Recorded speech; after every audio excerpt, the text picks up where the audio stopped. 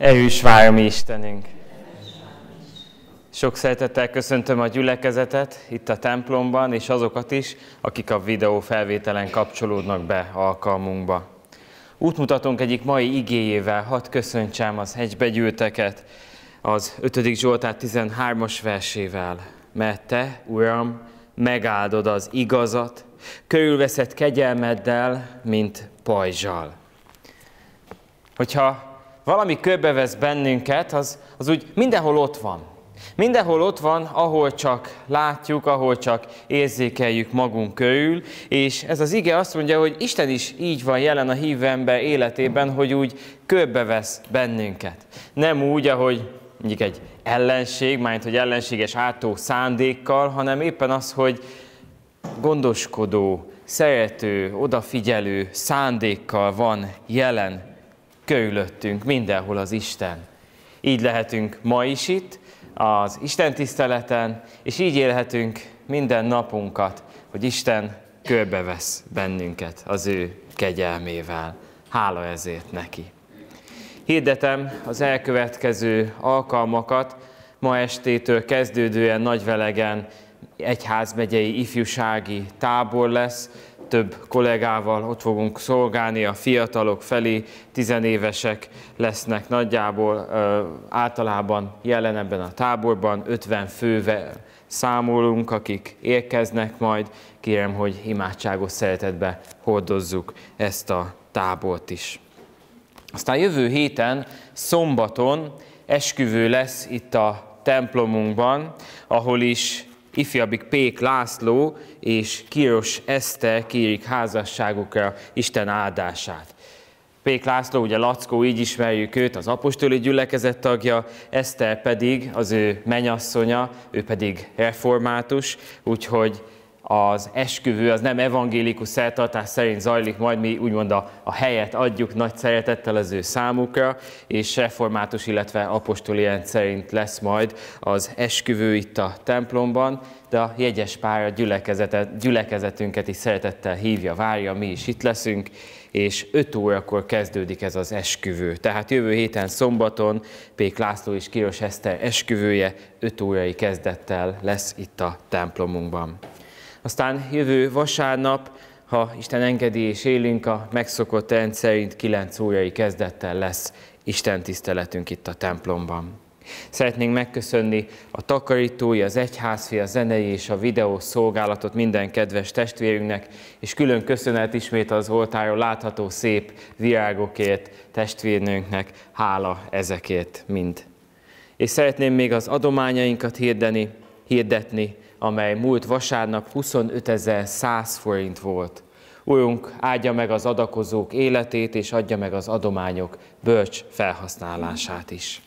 A folytatásban énekes könyvünk 280-as számú énekét énekeljük, itt az Isten köztünk.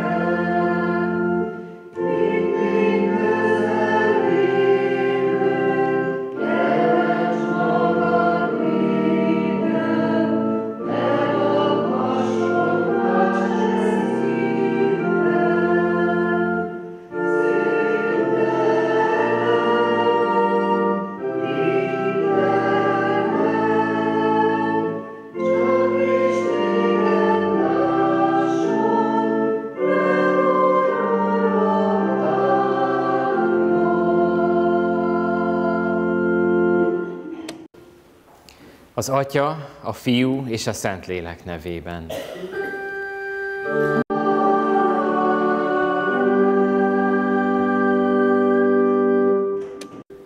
Az újé a föld, és ami azt betölti, a földkerekség és annak lakói. Énekeljetek az Úrnak örömújongással, énekeljetek áhítatos szép éneket, mert Isten az egész föld királya, Isten uralkodik a népeken. Dicsőség a magasságban Istennek, és a földön békesség, és az emberekhez jó akarat. Az Úré a föld, és ami azt betölti, a földkerekség, és annak lakói. Ámen. Imádkozzunk. Drága Istenünk, mennyei jó atyánk, a Zsoltárossal együtt valljuk, hogy tiéd a föld, és tiéd minden, ami azt betölti, és így mi magunk is a tieid vagyunk, hozzá tartozunk.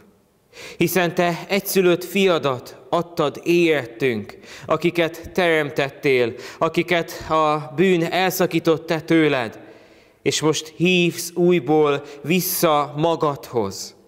Köszönjük neked ezt a kegyelmet. Köszönjük ezt a mindent átható szeretetet, melyet ma is éreztetsz velünk.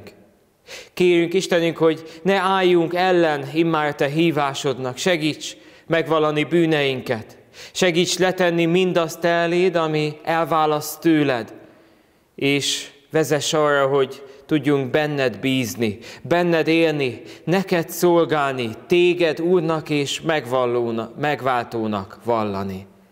Jézus nevében kérünk. Ámen. Ünneplő gyülekezet, kedves testvérek, hallgassuk meg a mai vasárnapon, Szent Háromság ünnepe utáni hetedik vasárnapon az oltály előtti felolvasású rendelt igéinket. Először Márk evangélium a nyolcadik részéből, az első kilenc versből a következőképpen. Azokban a napokban, amikor ismét nagy sokaság vette körül Jézust, és nem volt mit enniük, magához hívta a tanítványait, és így szólt hozzájuk. Szánakozom a sokaságon, mert már három napja velem vannak, és nincs mit enniük. Ha pedig éhesen bocsátom őket, haza kidőlnek az úton, mert némelyikük messziről jött. Tanítványai így feleltek. Hogyan tudná bárki is ezeket kenyére jól lakatni itt a pusztában? Megkérdezte tőlük, hány kenyeretek van. Ők ezt válaszolták, hét. Ekkor megparancsolta a sokaságnak, hogy telepedjenek le a földre, azután vette a hét kenyeret, hálát adott, megtörte, tanítványainak adta, hogy tegyék eléjük. Ők pedig a sokaság elé tették. Volt néhány kis haluk is. Miután áldást mondott, szólt, hogy ezeket is tegyék eléjük. Ettek és jól laktak. Azután összeszedték a maradék darabokat hét kosárral, pedig mintegy négyezer voltak. Ezek után elbocsátotta őket. És hallgassuk meg továbbá Pál római leveléből, a hatodik részből, a 19. verstől a 23. versig terjedő szakaszt is. Emberi módon beszélek, mert erőtlenek vagytok. Ahogyan tehát tagjaitokat a tisztátalanság és a törvénytelenség szolgálatába állítottátok, hogy törvénytelenekké legyenek, úgy most állítsátok tagjaitokat az igazság szolgálatába, hogy szentek legyenek. Mert amikor a bűn szolgái voltatok, szabadok voltatok az igazságtól, de milyen gyümölcsöt termett ez akkor nektek? Bizony most szégyenkeztek miatta, mert ennek a vége a halál. Most azonban, miután a bűntől megszabadultatok, és Isten szolgái lettetek, már ez meghozta nektek a gyümölcsét, a megszentelődést, amelynek a vége az örök élet. Mert a bűnzsógya a halál. Isten kegyelmi ajándéka pedig az örök élet, Krisztus Jézusban, a mi Úrunkban. Boldogok, akik hallgatják és meg is tartják Istenünk beszédét. Magasztaljuk őt az apostoli hitvallás szavaival.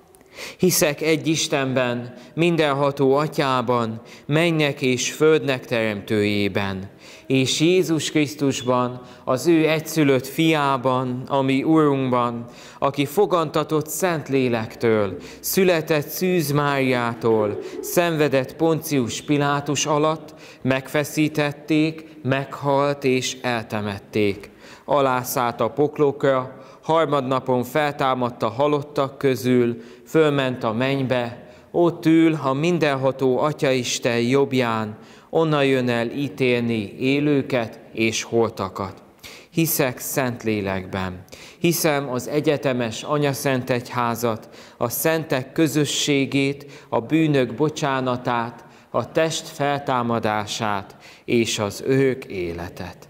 Ámen. Foglaljunk helyet, és a 103-as számú énekünkkel készüljünk az ige hirdetése, hová mennék, ha nem te hozzád.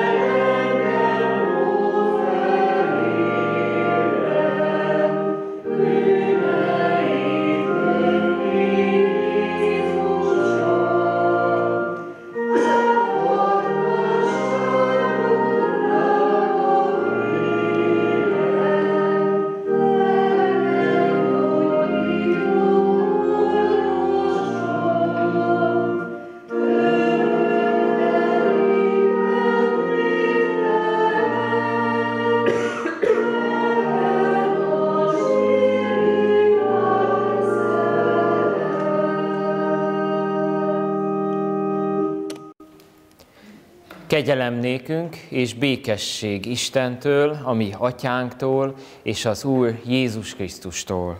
Ámen.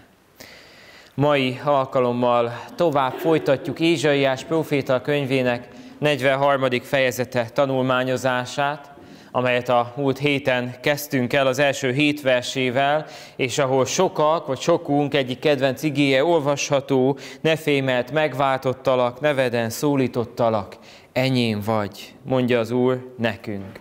Csodás bátorítással, mely megszólalt számunkra is, és megszólalt évszázadokkal ezelőtt a babiloni fogságban lévő Izraelnek is. És ez a kezdeti bátorítás visz bennünket tovább a fejezet következő szakaszaira, amely Isten még önmagáról beszél, és az ő kegyelméről beszél, és feladat elé, kihívás elé állít, hogy hogyan válaszolunk az ő kegyelmére és szeretetéje. Ezt nézzük meg most részleteiben. Az első szakasz, amit felolvasjuk, kövessük helyünkön maradva hittel, figyelemmel, Ézsaiás próféta 43. fejezetének 8. versétől. Hozd ki a népet, amely vak, pedig van szeme, és süket, pedig van füle. Gyűjjön egybe minden nép, jöjjenek össze a nemzetek. Ki tudja közülük megmondani, és tudtunk-e adni, hogy mi volt-e igen? Állítsák elő tanúikat, bizonyítsák igazuk, hogy aki hallja, azt mondja rá, úgy van. Ti vagytok a tanúim, így szól az Úr, és az én szolgám, akit kiválasztottam, hogy megismerjetek, higgyetek bennem, és megértsétek, hogy csak én vagyok. Előttem nem lett Isten, és utánam sem lesz. Én, én vagyok az Úr, rajtam kívül nincs szabadító. Én mondtam meg, hogy megszabadítalak, én hirdettem, nem valami idegen Isten.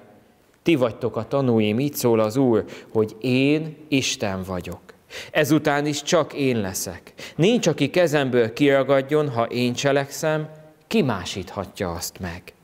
Ámen. Keresztény gyülekezet, szeretett testvéreim az Úr Jézus Krisztusban. A felolvasott szakaszunk az az egy bírósági tárgyalás képét festi elénk, ahol, hát ugye a bírósági tárgyalás, ez nem egy modern dolog, ugye sokszor látjuk ezt filmekben, esetenként talán részünk is volt hasonlóban, de ez nem egy modern találmány, ez már az ókorban is jelen volt egy-egy ilyen eljárás, ahol a vitás felek nem tudták eldönteni, kinek van igaza, és egy bírót, valaki, aki dönt a az ő ügyükben, kérdésükben a törvényeket betartva hívtak segítségül a döntésben. Itt is most ezt látjuk ebben az Ószövetségi írásban, mintha csak egy tárgyaló teremben lennénk.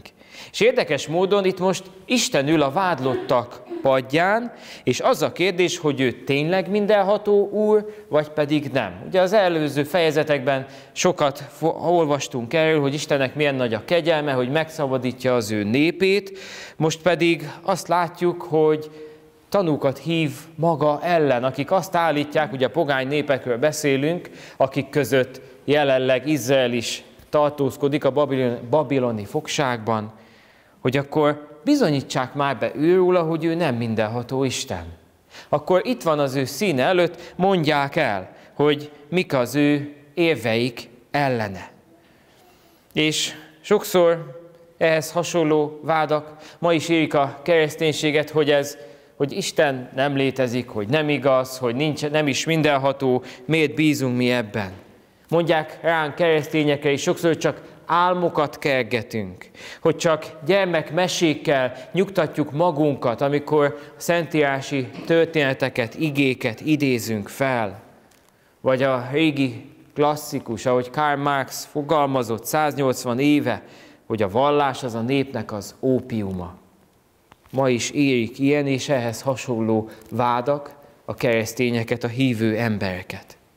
Az igében tehát Isten összehívja a vádlóit, hogy akkor, hogy akkor mondják el, hogy mit tett értük az ő Istenük. Ezek a bálványok, ezek a pogány hiedelmek. Beszélt velük? Megszabadította őket bármi bajból?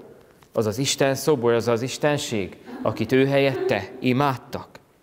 A vádlók azonban ebben az igében szóhoz sem jutnak, mert jönnek az Úrnak a tanúi, akik igazából szintén nem szólalnak meg ebben a rövid ige szakaszban, de mégis az ő puszta létük, az ő sorsuknak az alakulása válik tanúvallomássá Isten minden hatósága felől. Mert hogy népe tagjai bizonyítják, hogy az Úr előre megmondta, hogy bár itt vannak a fogságban, ugye ezt is megmondta előre, ha nem hallgatnak rá, fogságba jutnak, ez is beteljesedett, és azt is megmondta előre, hogy meg is fognak szabadulni. Nem csak a véletlen hozta így, nem a világpolitikának a szerencsés alakulása, hanem Isten ezt mind előre kijelentette. És ezzel teszi szembe, hogy akkor azok a mindenféle válványok, Isten pótlékok, azok mit jelentettek ki, azok mit segítettek, azok hoztak-e bármiféle szabadulást. Isten azonban ezeket valóban megcselekszi. Népe számára is fog hozni egy szabadítót, itt az Ószövetségi időben, majd egy, egy érdekes módon egy pogány uralkodót, aki a Babilon birodalmat elfoglalja, átveszi a hatalmat, és majd ő hazaengedi őket, visszaengedi Izrael népét Jeruzsálembe. De ezt is Isten végzi el, ő alakítja így a történelem folyását. És tulajdonképpen nem más tesz itt ígéretet Isten, hogy a népét feltámasztja a nemzeti halál állapotát. Hiszen az országuk romokban, az ő egyetlen templomuk, Istennek épített egyetlen templomuk romokban, a főváros szintén, és a nép nagy része is idegen földön van, több száz kilométer, több ezer kilométerrel otthonuktól. És innen, innen hoz Isten újjáépülést. Innen hozza meg azt az állapotot, hogy Izrael újból létezni fog, Isten népe újból a saját, még Ábrahámnak megígért földjén fog élni, és lesz saját városuk, és lesz ismét templomuk. Megszabadítja népét, feltámasztja népét az Úr. Mit üzen számunkra ez az ige szakasz? Bátorítás lehet. Hogyha körülöttünk is esetleg átéljük, hogy sokan beszélnek Isten ellen, sokan beszélnek a, a, a hitünk ellen, el akarnak tántorítani, elbizonytalanítani hitünk bizonyossága alapjai felől.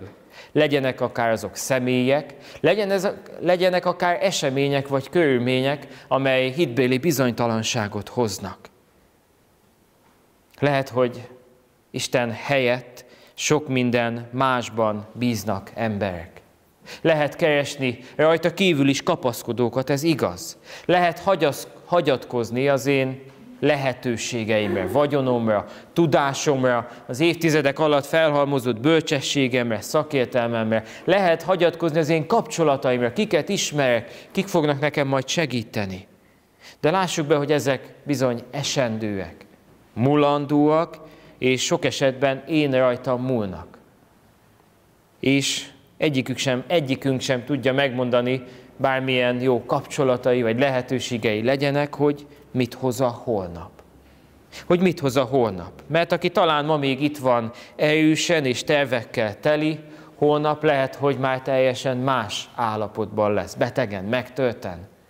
Nem tudjuk, mit hoz a holnap. És nyilván nem arról van itt szó, hogy a keresztény embernek ne legyen önbizalma, hanem arról van szó, hogy akár az önbizalmunkat is Istenre építsük.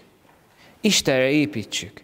Ugye Pálapostól is a római levélben nem azt mondja, hogy olyan erős vagyok, ki lehet én ellenem, nem ezt mondja, hanem az, hogyha Isten velünk, akkor ki lehet ellenünk. Hogy az önbizalmunk Istenre épül. Istenben lehetek, Isten az, aki megtart, akkor ki lehet ellenem? Ki választhatna el az ő szeretetétől? Isten megtart, úgyhogy nem kell már félnem, aggódnom. Fenti íge szakaszunk tehát megerősíti, hogy Isten, Istenen kívül nincsen más hatalom. Nincsen rajta nagyobb hatalom. Nem, nincs senki, aki felül tudna rajta kerekedni, vagy hogyha ő valamit elkezd cselekedni, vagy tervez valamit, hogy az bárki megmásíthatná. És ez egy nagy bátorítás lehet nekünk, ha esetleg minket is személyek vagy körülmények elbizonytalanítanának. Isten azonban nem csak a hatalmáról beszél, hanem azt használja is.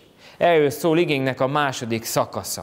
A 14-es verstől olvasom tovább a fejezetet. Ezt mondja az Úr, megváltótok, Izrael szentje, a ti érdeketekben küldök Babilonba. Letöröm az összes zárat, a káldeusok pedig jajveszékelnek. Én az Úr vagyok a ti szentetek, is, is Izraelnek a teremtője, a ti királyatok. Ezt mondja az Úr, aki utat készített a tengeren, ösvényt a hatalmas vizen át, aki hagyta, hogy kivonuljanak a harci kocsik és lovak, a hadsereg és a harcosok, és most ott feküsznek, nem kelnek föl többé, elaludtak, elhamvadtak, mint a mécses, ne a régi dolgokat emlegessétek, ne a múlton tűnődjetek, mert én újat cselekszem, most kezd kibontakozni, talán nem tudjátok? Már készítem az utat a pusztában, a sivatagban folyókat fakasztok. Még a mezei vadak is dicsőíteni fognak engem, a sakálok és a struccok is, mert vizet fakasztok a pusztában, és folyókat a sivatagban, hogy így inni adjak a választott népemnek, a népnek, melyet magamnak formáltam, hogy hirdesse dicséretemet. Eddig az ige szakasz. Ó, azok a boldog régi szép idők. Meg régen mindig jobb volt.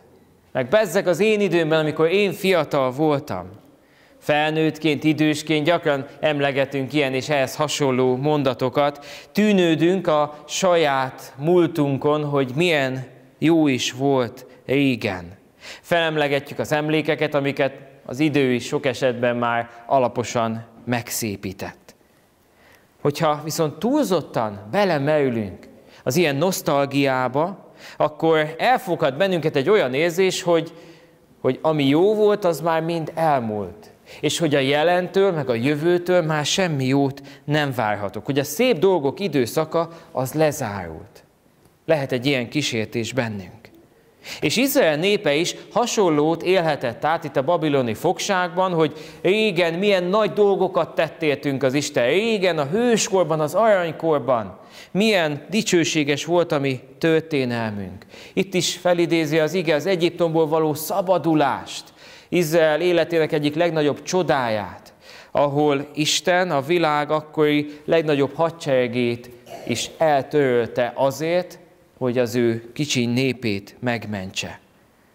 És nyilván az emlékezés egy fontos dolog. Nem lehet azt mondani el, hogy ne emlékezzünk vissza a régi időkre. Hiszen megalapozza azt, hogy kik vagyunk ma, hogy honnan jöttünk, hogy miket éltünk át korábban. Viszont ahogy az előbb is említettem, ha nagyon belemerülünk, ez az emlékezés egyfajta börtönné is válhat. Amikor csak visszafelé tekintünk, amikor elmerülünk a múltban, a tegnapban, és a mától, meg a holnaptól már nem várunk semmit. Na erre mondja azt ez az ige szakasz, 18. versben, hogy ne a régi dolgokat emlegessétek, ne a múlton tűnődjetek, mert én újat cselekszem. Most kezd kibontakozni, talán nem tudjátok.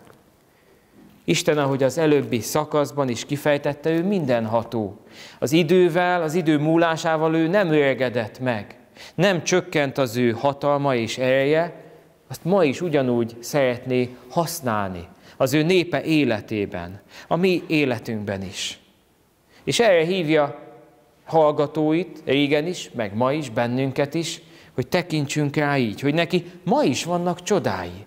Istennek ma is van hatalma, ereje, ma is meg tud bennünket szabadítani, ma is megbocsátja a bűneinket, és ma is tud minket új életre vezetni.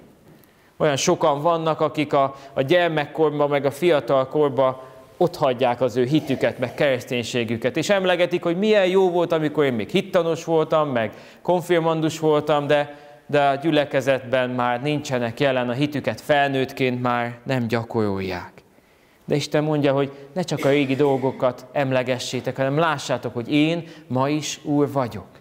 És ma is szeretnék a te életed része lenni. Érdekesség itt az igénkre tekintve, hogy a 40. fejezet óta most először mondja itt ki Isten, hogy, hogy, hogy Babilon.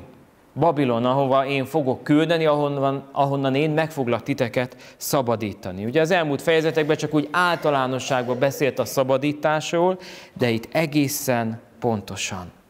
Egészen pontosan, mert látja az ő népét. És látja az ő népének a egészen konkrét, egészen pontos problémáját. Hogy mi az ő nehézségük. És lehet, hogy a mi életünkben is van valami nehézség. Ugye ez, hogy nehézség gyakran elhangzik az igehirdetésekben, én magam is sokat használom, és sokszor csak úgy talán általánosságba vesszük azt. De olyan jó itt látni, hogy Isten egészen pontosan néven nevezi a népe életében levő problémát, hogy látom a bajotokat, látom azt a Babilont, aki titeket fogva tart. És ebből kiindulva nyugodtan gondolhatunk most magunkban, ami aktuális legnagyobb gondunkra, ami bennünket fogva tart, aggaszt, amivel küzdünk, és nem jutunk benne egyől a kettője.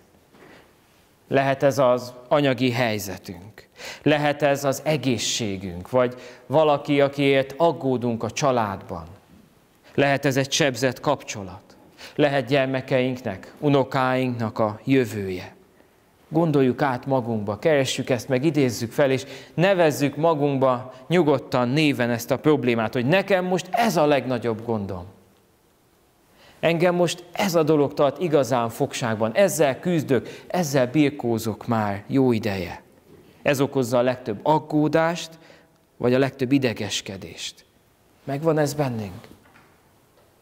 És hogyha megvan, akkor az ige alapján hadd jelentsem azt ki, hogy Isten ezt látja a mi életünkben. Ahogy itt is néven nevezi, hogy látom ezt a Babilont, ami titeket fogva tart. Ugyanúgy kijelenti, hogy látja azt a problémát, amit most talán megfogalmaztunk magunkba. Nagyon jól ismeri, nem csak úgy általánosságban tekintánk, hanem személy szerint. Ahogy a fejezet elején is, neveden szólítottalak. Ismeri a nevünket, ismeri a helyzetünket, és pontosan pontosan látja azt a gondot, azt a nehézséget, azt az ellenséget, amit magunkban megfogalmaztunk. Legyen az Babilon, legyen az bármi más. És így gondoljunk az Isten szabadítására, hogy engem név szerint ismer, és pontosan azzal a problémából fog engem kimenekíteni, vagy elkísér benne, hogyha még az a terve, hogy meghagy benne egy ideig. De látja jól és kezelésbe veszi. És nyugodtan így hordozhatjuk ezt imádságban. Név szerint kijelentve, hogy nekem most ez a legnagyobb kérdésem, nehézségem, Uram. És olyan jó, hogy, hogy így visel rólunk gondot. Lehet, hogy az a terve, hogy, hogy nem szabadít meg még egy ideig. Lehet, hogy még megtart benne, de, de ott van velünk. És, és használja azt a javunkra, hogyha benne is maradunk. Isten tehát használja az ő erejét, hatalmát ma is, a mi életünkben is. Akár arra, hogy megszabadítson valamitől, akár, hogy egy nehézségben megtartson, hordozzon, és azon belül vezessen el valamire, tanítson meg valamire. És már csak az a kérdés, hogy mindenhez mi mit is szólunk, mit is válaszolunk. És erről szól a fejezetnek az utolsó versei, 22. verstől olvasom még. De nem engem hívtál segítségű Jákob, nem értem fáradoztál Izrael. Nem nekem hoztál bárányt égő áldozatul, véres áldozataiddal nem engem dicsőítettél. Nem én voltam, akinek ételáldozattal szolgáltál, nem én voltam, akiért töményezéssel fáradoztál. Nem nekem vettél drága pénzen jó illatú nádat, nem engem árasztottál el véres áldozatait kövérjével. Bizony, nekem csak védkeiddel szolgáltál. Én értem, csak bűnökkel fáradoztál. Én, én vagyok az, aki eltörlöm mégis álnokságodat önmagamért, és védkeidre többé nem emlékezem. Ez az utolsó szakasz Isten népének hűtlenségéről beszél.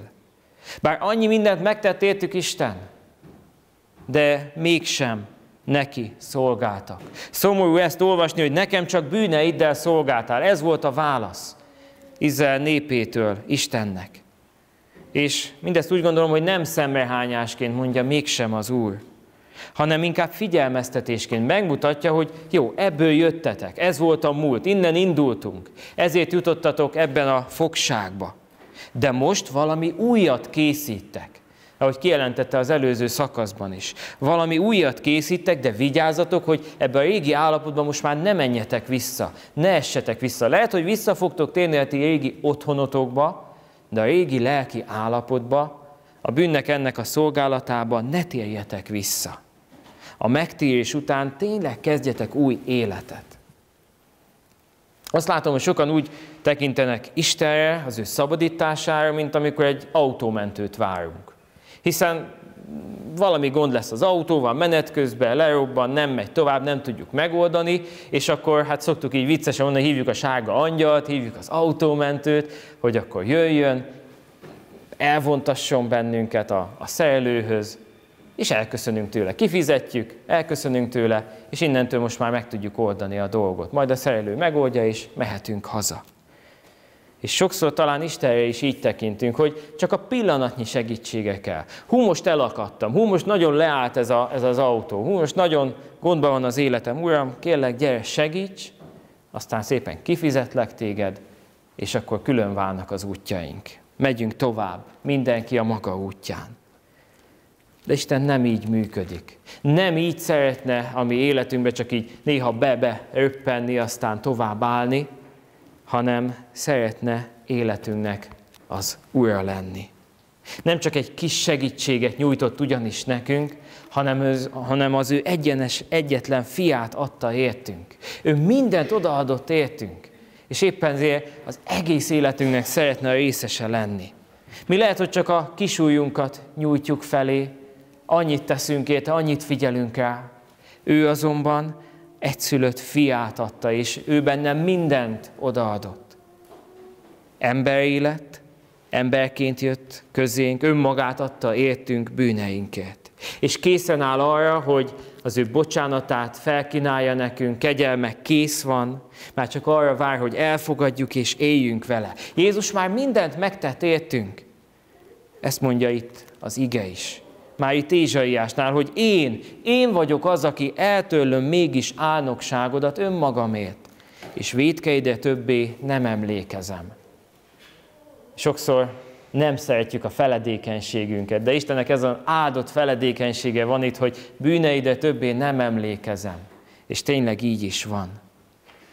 Arra vár tehát az Úr Jézus, hogy végre megtérjünk és visszatérjünk hozzá és a vele való találkozás után már ne a régi dolgainkat folytassuk, ne a régi értékrendet kövessük, hanem benne és vele egy új élet, egy új kezdet legyen, ami már őróla szól, amiben már ő az Úr, amiben már az én önbizalmam is Istenre épül és alapul.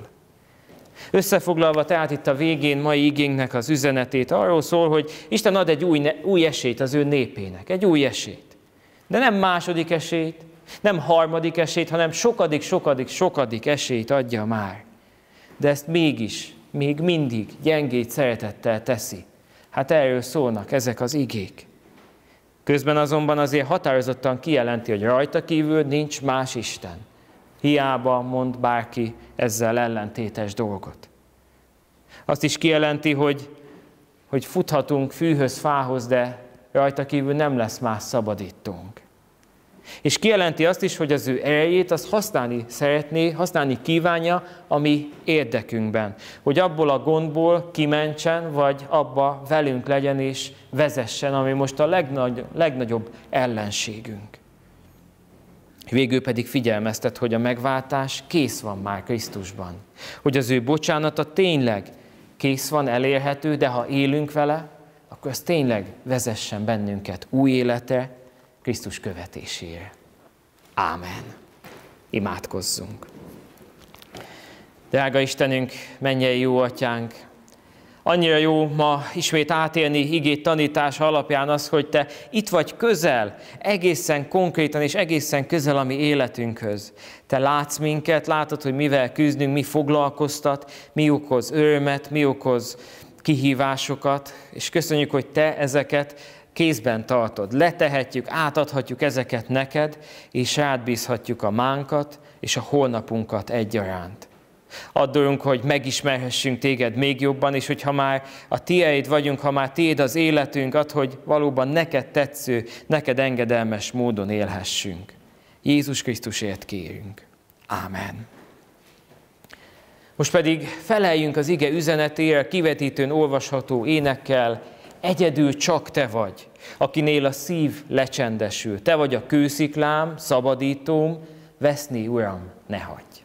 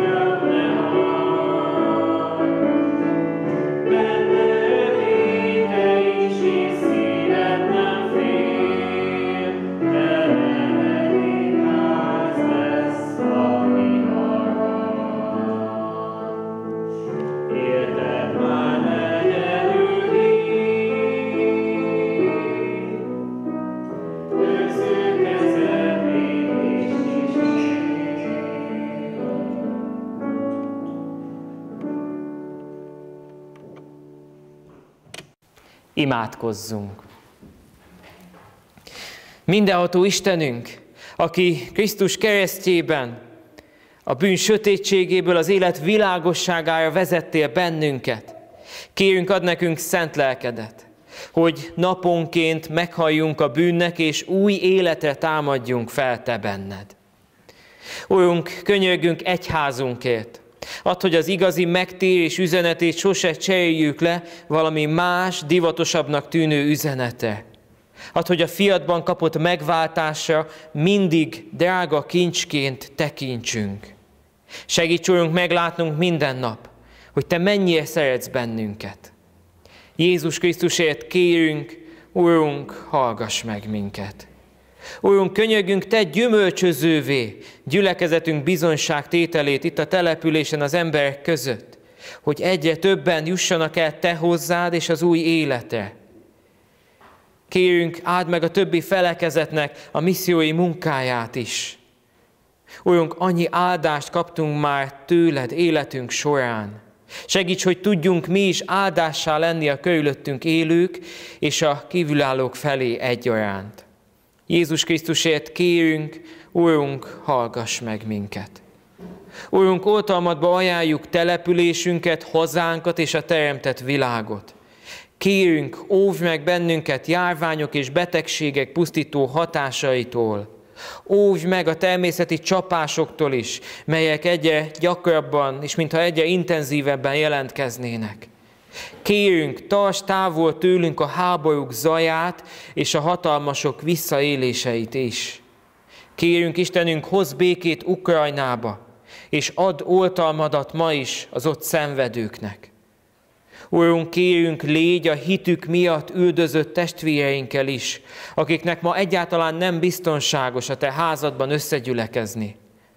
Mennyei atyátként, atyaként kérünk, óv gyermekeid életét. Jézus Krisztusért kérünk, Urunk, hallgass meg minket. Urunk, könyörgünk beteg, szenvedő és magányos testvéreinkért. Ne engedd, hogy a szenvedés elbizonytalanítsa őket hitükben. Légy velük mindennapi küzdelmükben. Ha lehet, ha lehet, adj betegeinknek gyógyulást. Ezen felül pedig kérünk, őrizd meg reménységüket, és vigasztad őket jelenléteddel. Úrunk, kérünk, áld meg az örvendezőknek az örömét is, és vezesd őket arra, hogy el ne feledkezzenek a hála adásról, hiszen Te vagy minden jónak a forrása. Jézus Krisztusért kérünk, Urunk, hallgass meg minket. Urunk, kérünk, hallgass meg minket, amikor a Te népetként, egy szívvel, egy lélekkel úgy imádkozunk, ahogyan Jézus Krisztus tanított bennünket könyörögni. Mi, atyánk, aki a mennyekben vagy, szenteltessék meg a te neved, jöjjön el a te országod, legyen meg a te akaratod, amint a mennyben, úgy a földön is. Mindennapi kenyerünket add meg nekünk ma, és bocsásd meg védkeinket, miképpen mi is megbocsátunk az ellenünk védkezőknek. És ne vigy minket kísértésbe, de szabadíts meg a gonosztól, mert tiéd az ország, a hatalom és a dicsőség mindörökké. Ámen. Most pedig helyünkön fennállva fogadjuk az áldást. Istennek népe az Úr áldjon meg, és őrizzen meg téged. Az Úr világosítsa meg az ő arcát te rajtad, és könyörüljön rajtad. Fordítsa az Úr az ő szent arcát te feléd, és adjon néked békességet.